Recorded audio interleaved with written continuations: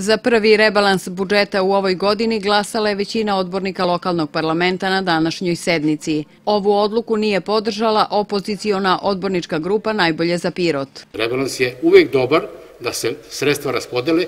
Ne mora biti rebalans sve u parama. Da se razumemo, može biti prebacivanje sa pozicije na poziciju, da bi se neka pozicija koja se više troši popunila i realizovala, a neka koja je manje, da ne bi sredstva stajala i to je neka, neka vrsta rebalansa. Popović se osvrnuo i na tok sednice. Tokom cele diskusije ovde danas, ovo je kao i možda svaka skupština, tu se pojavljuju ljudi koji u svakom trenutku sve znaju, sve znalice, a u suštini oni ovaj, ništa, baš ništa ne znaju.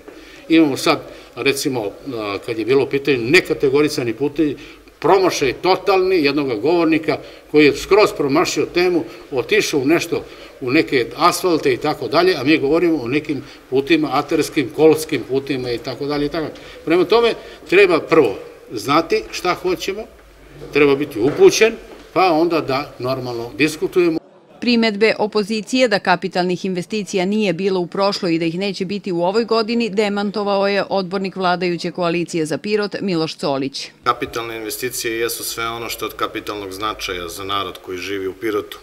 Pomenuo sam u prošlosti, dakle, renoviranje škole Mladost, renoviranje škole 8. septembar, renoviranje škole Sveti Sava, crpna stanica Birilovac, investicija 1,5 miliona eura, Kanalizacija izvor, otvaranje ulice Čirile Metodija, uvođenje gasa za toplanu, zamena vodovodne mreže, asfaltiranje puteva preko milion eura u svim mesnim zajednicama, e, kanal u Rogozu, 800 novih sadnica, ulaganje od poljoprivredu od 60 miliona dinara, obnova vrtića Prvomajski cvet, i tako dalje i tako dalje. Ono što je kapitalno za nas u narednom periodu i nadam se da će zbog toga građani pokloniti svoje poverenje jeste rekonstrukcija Doma vojske, kompleksa otvorenog bazena, nova pijaca, dom za stare, autobuska stanica, rekonstrukcija bolnice, rekonstrukcija gimnazije, novi putevi, oni u, u, u vrednosti od 20 miliona eura, hitna pomoć i fabrika za prečišćavanje vode. Odbornici su usvojili i odluke o planovima generalne regulacije autobuska stanica i Tigar Tires.